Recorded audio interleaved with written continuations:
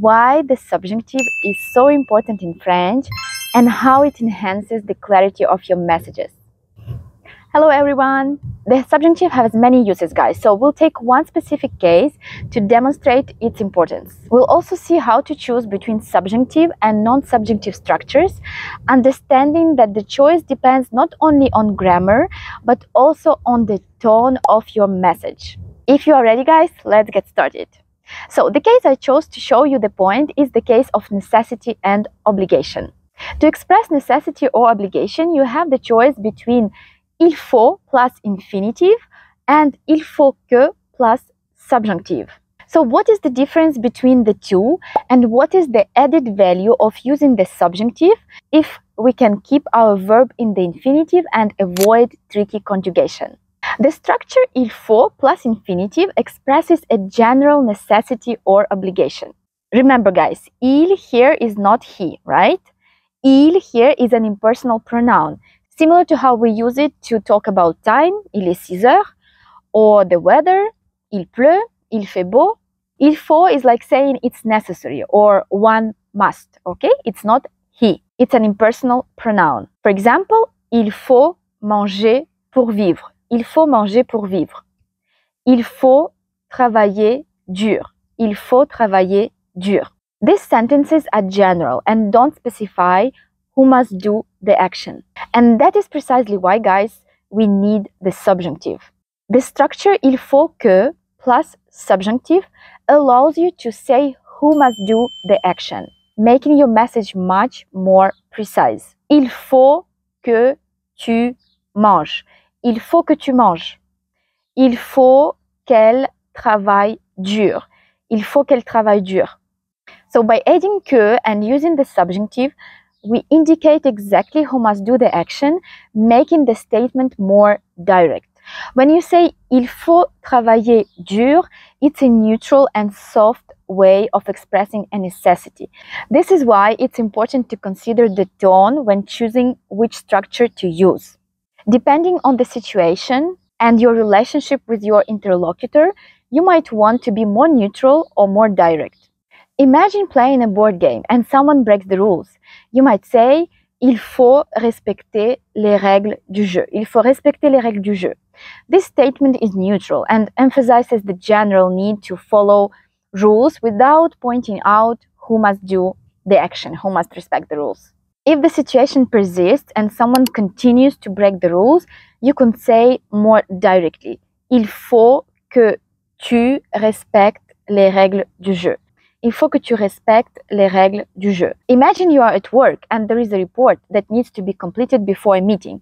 So you might say, il faut finir ce rapport avant la réunion de demain. Il faut finir ce rapport avant la réunion de demain. This phrase expresses a necessity formally and professionally, without specifying who must act.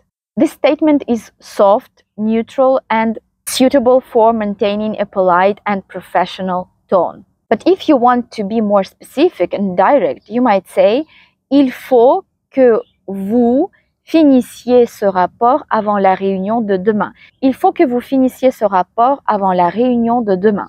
This phrase is more direct, specifying who needs to take the action. It is more straightforward and firm. Imagine you are in a park with strangers and there is a disagreement about something. You might say Il faut trouver un compromis pour résoudre cela. Il faut trouver un compromis pour résoudre cela. This statement is neutral and helps maintain a calm atmosphere.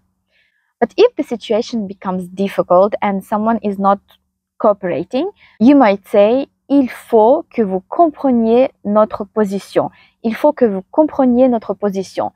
So if you want to stay neutral and soft, guys, you would use il faut le faire.